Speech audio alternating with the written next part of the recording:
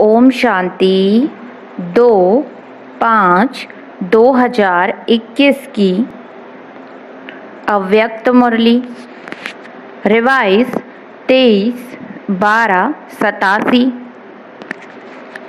मनन शक्ति और मगन स्थिति।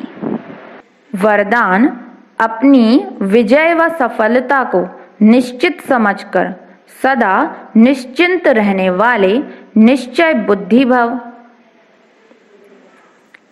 जो बच्चे सदा बाप में स्वयं के पार्ट में और ड्रामा की हर सेकंड की एक्ट में सौ प्रतिशत निश्चय बुद्धि है, उनकी विजय व सफलता निश्चित है।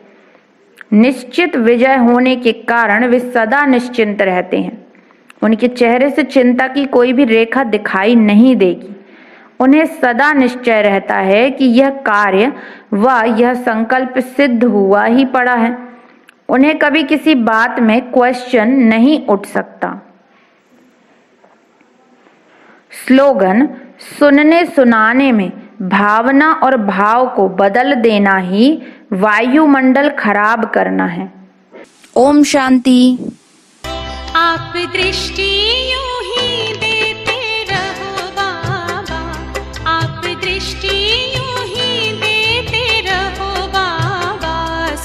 सागर में गहरे उतर जाऊँ, सुख सागर में गहरे उतर जाऊँ।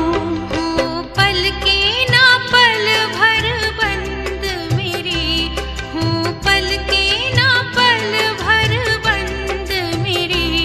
इन लहरों को दामन में भर जाऊँ, इन